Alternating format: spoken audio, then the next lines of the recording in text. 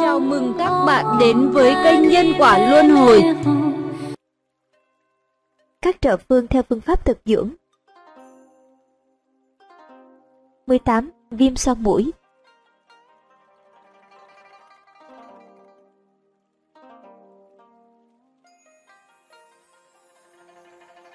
Ăn cơm gạo lứt muối mè số 7 và đắp nước gừng ở phần mũi đến trán cũng hết bệnh.